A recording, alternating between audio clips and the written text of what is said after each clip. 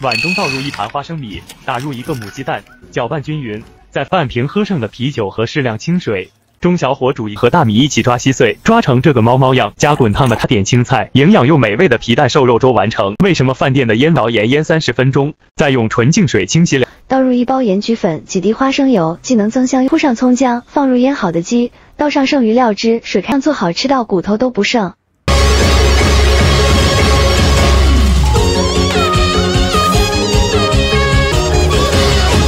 婆婆从小告诉我，秋冬干燥易上火，这样做清热润肺。准备一个苹果备用，将雪梨切小块。啊，乖，你们在吃什么？热的嘛。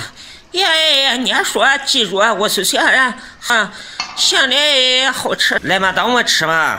今晚上给你吃过给多的，我见杀大锅菜，三四个人吃嘛。你来咋吃的多多。